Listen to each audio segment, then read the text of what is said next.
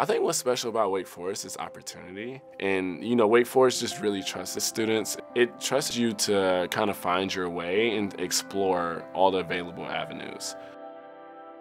What makes it special is the ability to challenge everything you thought you knew going into college. I think coming from kind of rural Minnesota and hearing so many different perspectives, it's made me a much more thoughtful listener. It's definitely made me more aware to more perspectives. It's also made me more of an individual.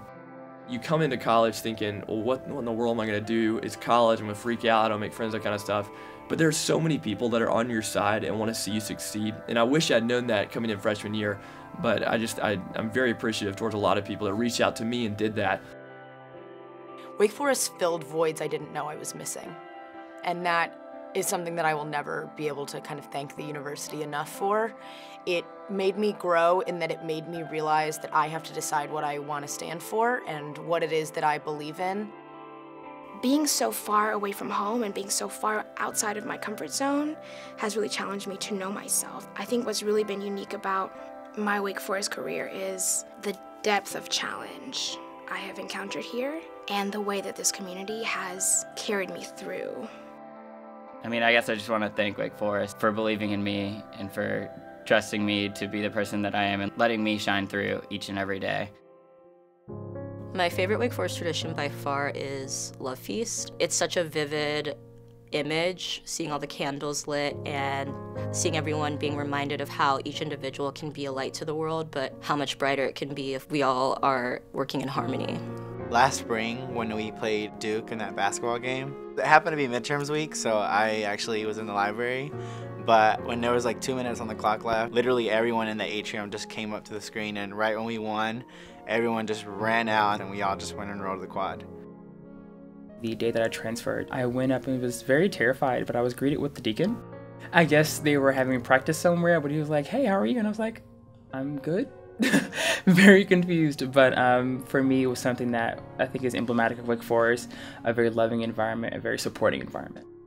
I guess it was this time last year, and there was three or four inches of snow on the ground, and classes were canceled. And it was just one of the best days because I went out onto the quad, and everyone was there playing on the quad, throwing snowballs, building snowmen. And everyone talks about like the Wake Forest bubble, and it like turned into this snow globe for a day. My favorite spot on campus would have to be the swings on Davis Field. It's a nice place to just unwind and just find peace and quiet. I'll miss the campus, and it's a beautiful place. Campus is, it feels like home, and it's definitely going to be difficult to leave after four years here and being so comfortable. Being close to all my best friends and being able to walk around campus and being able to talk to as many people that I can.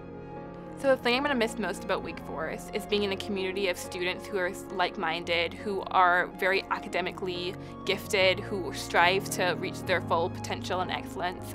I want people to know that anyone can be a leader and that you might not always feel like you have the best skill set or you're the best public speaker, but anyone can be a leader and the most important part of being a leader is to lead by example.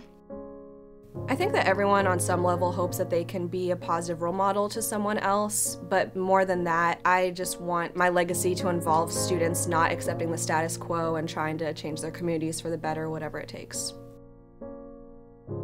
I want to make my alma mater proud. You know, I, I want to be someone that people know, oh, she went to Wake Forest. Wow, like, that's awesome. I want to make kind of Wake Forest proud in a sense. So I hope my legacy continues past graduation, whatever that legacy may be.